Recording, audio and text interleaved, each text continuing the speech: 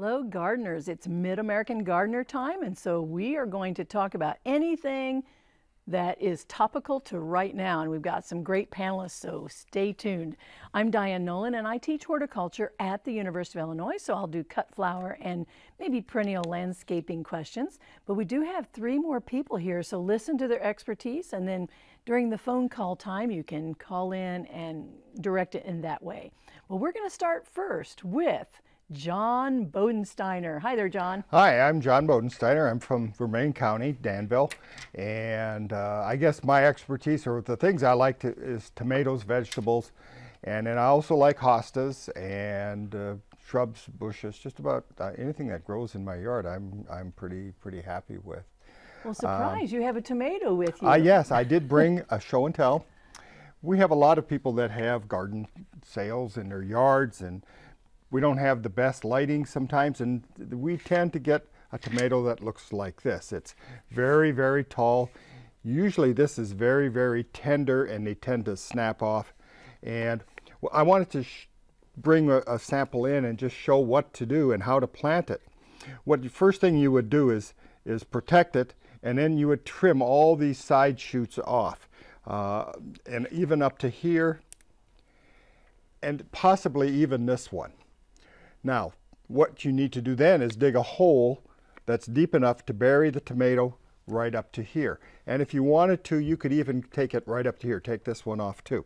Now, if you don't want to dig it that deep, what you can do is to lay it down and kind of very gently like this and, and, and point it up like this. And all these little hairs that if you look at, if you're familiar with tomatoes, you see a lot of little hairs on there, all those turn to roots. And with the dry seasons and the hot, every little root that that tomato can get is going to help it survive, absorb the calcium. We had some calls last week mm -hmm. about calcium and just um, be much, much healthier if it has more roots. So lay it down, dig it in, that's all that should be showing after you're done. It goes from wimpy looking to sturdy. Oh yeah. That's a sturdy plant yeah. when it's only showing yeah. that much. Yeah. And Thank you only you. do that with tomatoes. You do not uh, do that with trees, trees, or shrubs. No. or, that's that's just causing the slow death. Uh, yeah. okay. And, and well we've been spoken. having a lot of that with okay. trees. People yes. digging the holes and. Too many people plant their trees like mm-hmm. tomatoes, mm -hmm. and you yep. can't get away with it. So don't do that. But it's great for tomatoes. Thank yes. you, John. And now next is Kay Carnes. Hi, Kay. Hi. I'm a uh, Champaign County Master Gardener.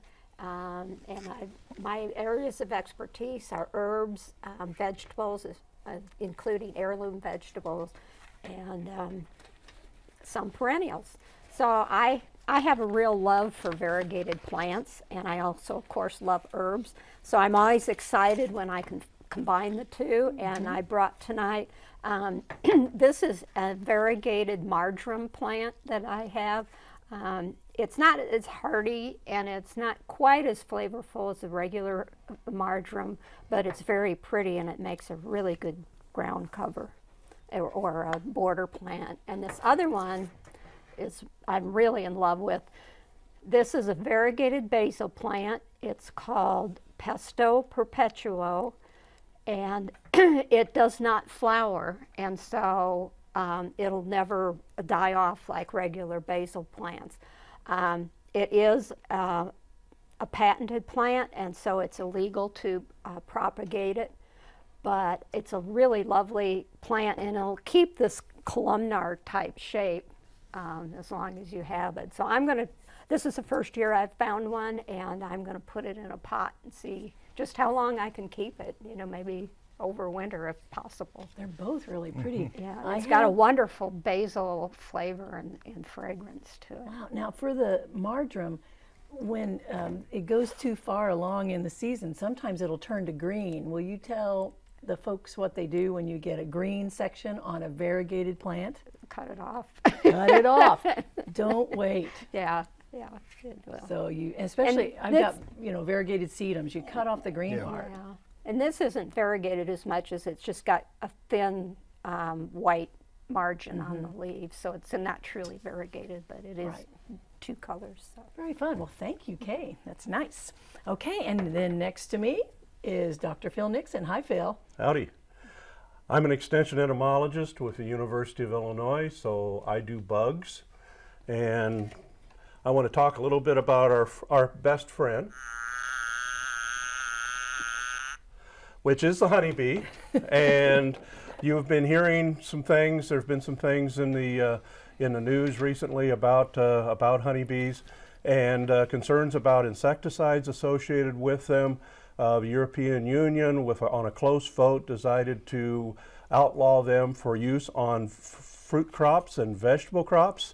The news media is talking about it. Everything that is not the case. They're still le legal to be used on trees and shrubs and turf, ornamental plants, and so. Uh, but the point is, is that there's just also recently, which is not getting near as much press, a release by United States Environmental Protection Agency, US EPA, and what they are coming out with is saying a more balanced approach and is, is important. It's not that simple. The concerns we have are with imidacloprid, which we which we use in controlling emerald ash borer, and uh, and thiamethoxam used a lot associated with seed treatments on corn, particularly and they've shown been shown to have some impact associated and maybe related to some of the problems of colony collapse disorder. But there are also mite problems. There are migratory beekeepers moving them all across the country, increasing stresses those directions, uh, disease problems. A variety of things and stresses that are evolving. Insecticides, particularly the neonicotinoids, are appearing to be more of a problem than we thought initially but it is by no means as simple as we get rid of those, we get rid of a problem. That will not do the case. And so you need to keep an open mind, keep a, uh, and realize that it's not as simple as just one thing.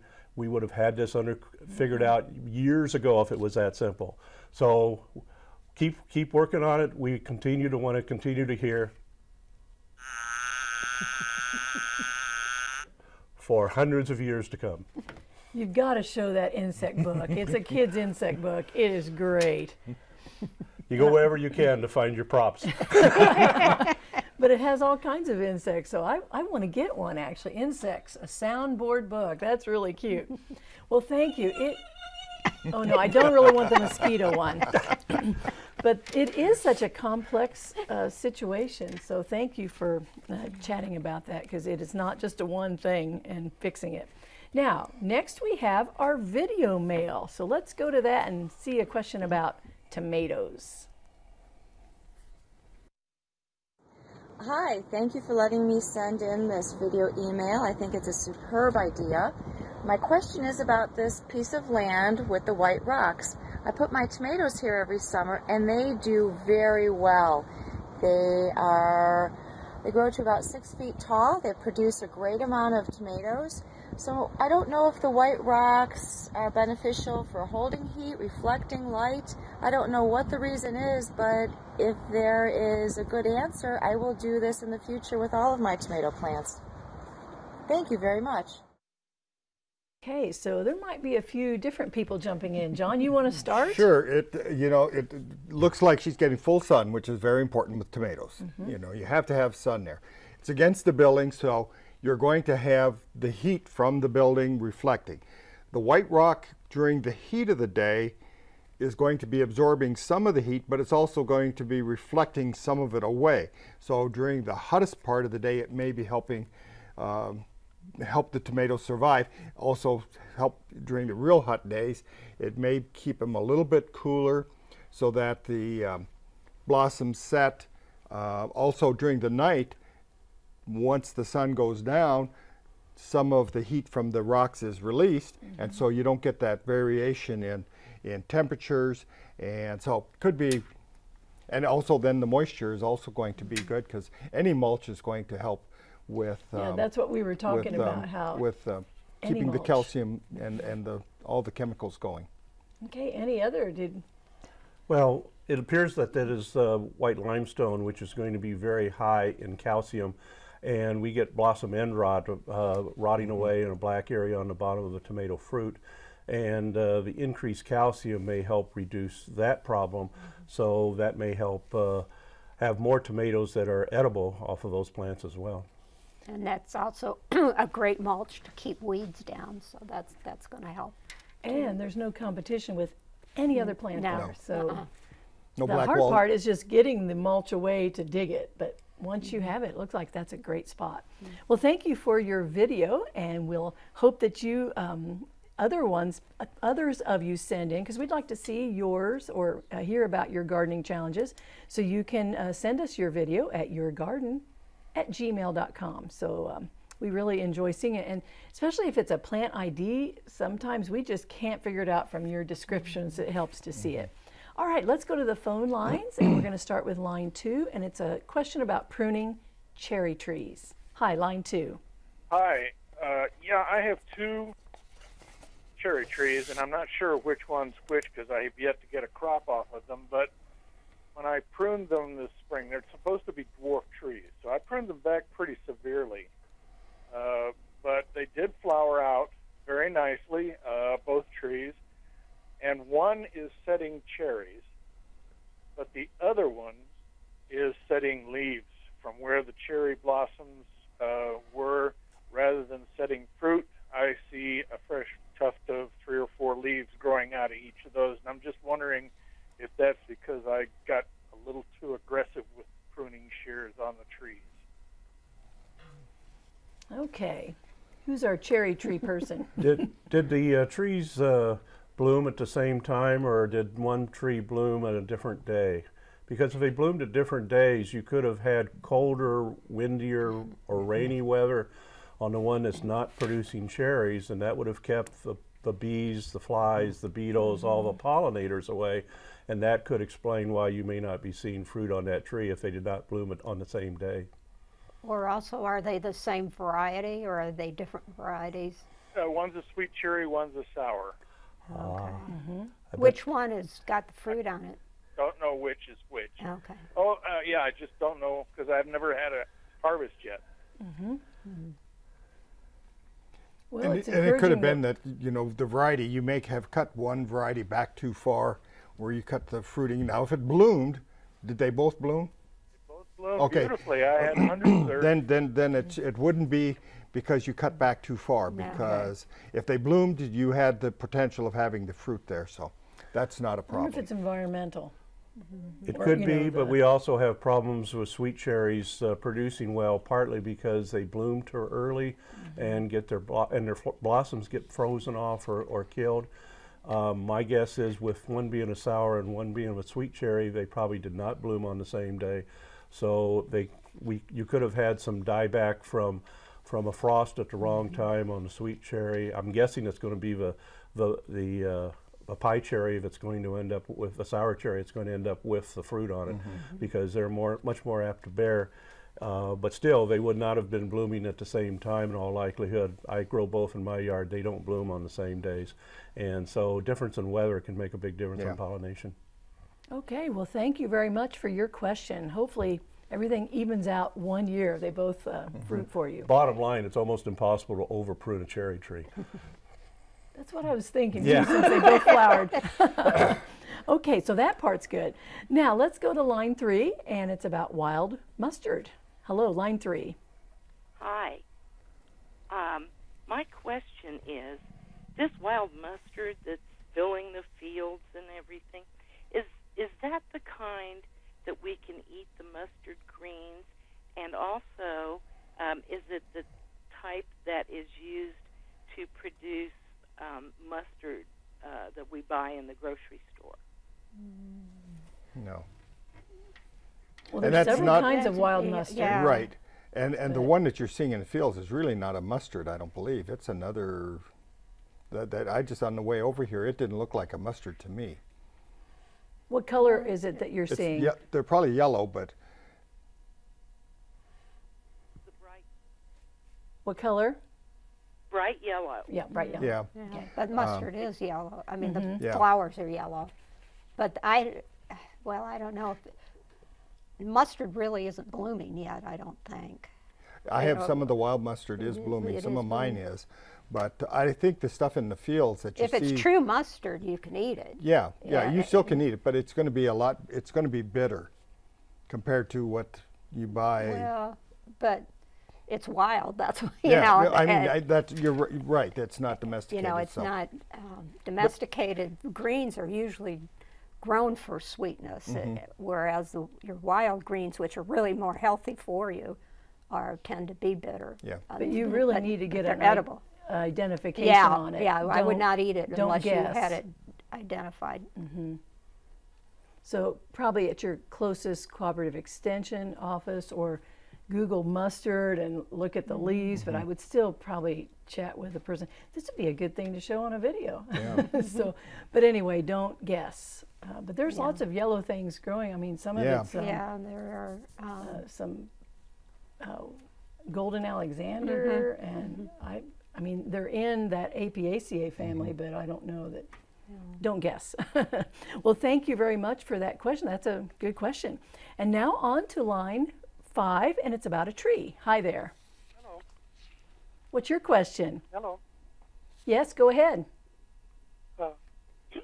You asking me about the tree? Yes. Uh, we have a couple of buckeye trees, and just very recently, all of the leaves have developed little yellow spots on them. And uh, up, uh, we have two of these trees, and, and they both have the same system. Uh, each, well, I'm looking at a leaf now that has 10 little spots on it, and they're very tiny, about eighth inch, I guess, bright yellow. Looks like they have a tiny black spot in the center of them, and then on the bottom side of the leaf, there's sort of a buildup of some kind of a crust. And uh, we've had this tree for about 20 years, and this is the first time we've ever had anything on it like this. So we wondered if there's any idea what it might be. And is it? Uh, it truly is a buckeye. It's not a. It's not a chestnut. Horse chestnut. Yeah. Pardon me? Is it a horse chestnut or a buckeye? How tall well, is it's, it? A, it's a buckeye as far as I know. Uh, it's, it's not, uh, oh, I don't know. The difference between a buckeye and a horse chestnut, honestly, I don't know. Yeah, they're in the same same genus, I believe. And we, uh, do, we do have another another one that is from a different uh, origin, and it's slightly different in appearance, and it doesn't have any of this going on with it. What is the disease So- that horse chestnuts get? Because I know the ones that we had on campus, a lot of them just di- died out. Yeah, it's it's something that starts at the top. uh, It's a, it's a it's a dieback or a blight on, on the leaves, and, and usually half or more of the leaf is turning brown. But the uh, but horse chestnuts and buckeyes uh, all have leaf diseases. Buckeyes tend to have fewer of them. Uh, and but with the with the wet spring that we've had and the cool temperatures, that's been very conducive to leaf diseases. And I doubt that you have a uh, have something which is going to be uh, repeated because we're probably not going to have as wet a spring for several years in the future. Uh, one thing that will reduce these kind of, of foliage diseases, if you have more air movement through the bush, through the tree or bush, if it's a bottlebrush buckeye, it's more of a bush. Uh, and so if you prune it out so that you get some air movement through it, it's not quite so heavy with foliage. Y- It may not be as pretty of a plant to your eye, but on the other hand, it probably won't get as many leaf diseases either. It will dry, the foliage will dry out quicker, and the fungi won't be able to do as well. But from what I know about uh, buckeye leaf diseases, it's nothing that's really all that much of a problem that uh, you need to worry about it. Okay, and it was a cold, wet, Yeah. elongated Yeah. uh, spring. And certainly they could go to their extension office or send somebody to the plant clinic if they want more information on that. Okay, well, very good. Now let's learn something about bamboo next.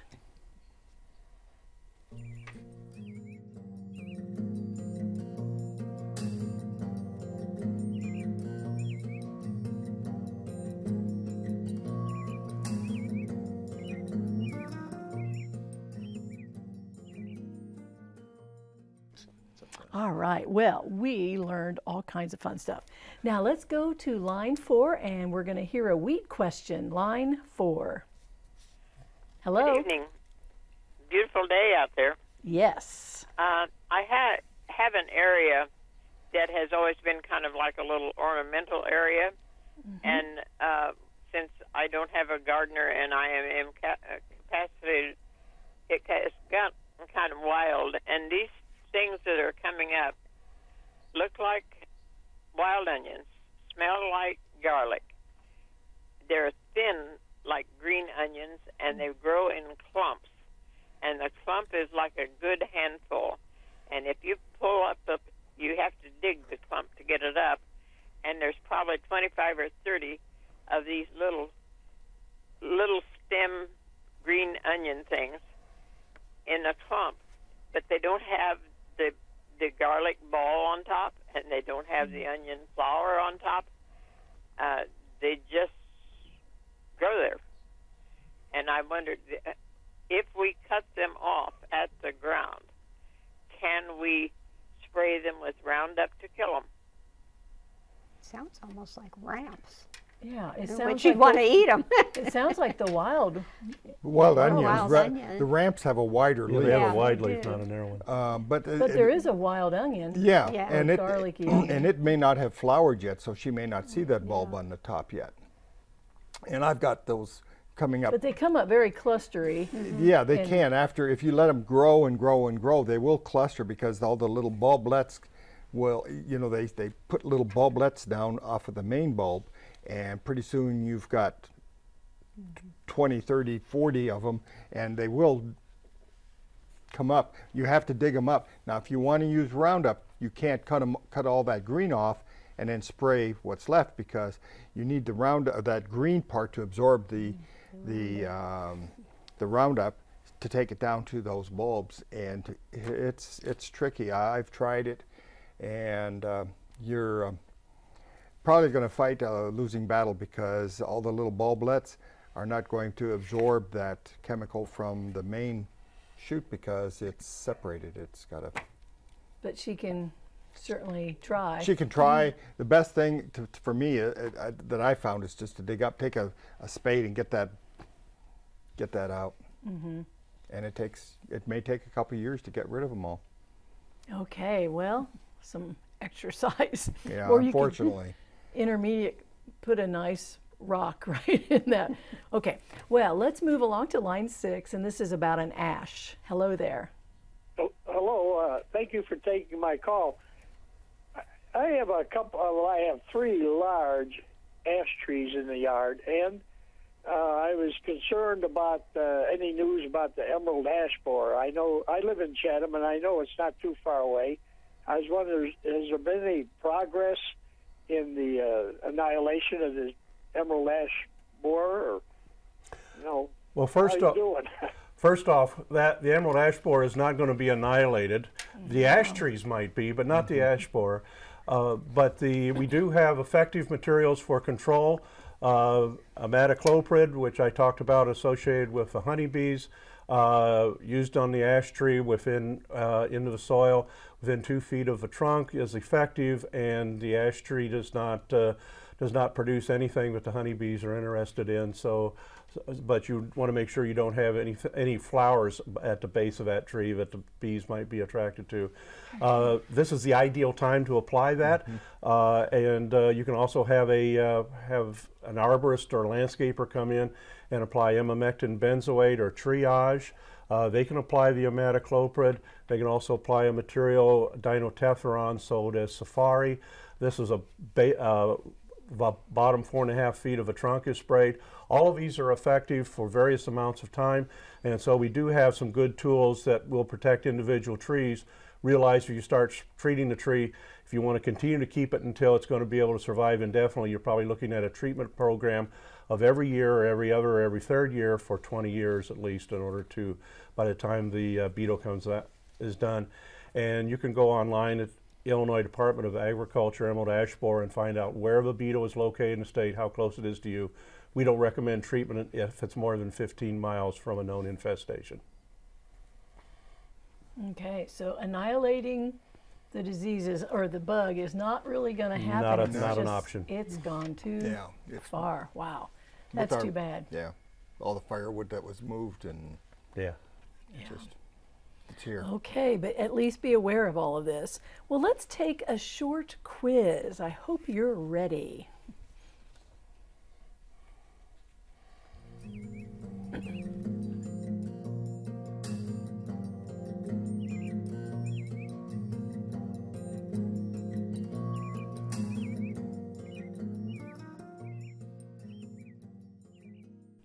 Well, we do try to educate and entertain. Well, it's been an interesting uh, year already for the gardener, hasn't it? It seems like we've had some of everything. weather, environmental things. So, what would you say is a good? we don't have much time, but what's a good thing to be doing, spring, early summer? Planting. What Planting. planting? Make sure you put some sort of collar around your new tomato plants that you put out. Uh, I like to use tin cans with both ends cut out, uh, uh, a piece of cardboard around it, uh, a nail right down next to the stem. Oh, yeah, All of these that. help keep cutworms from Cutworms, eating yeah. off your tomatoes. That's an important thing this time of year. And of course, weeding. It seems like we always need that. Well, I want to thank you so much for watching. It's been a great show and we've learned a lot. We hope that you have a great week gardening, doing all of these things and more. And we'll see you next time. Bye bye.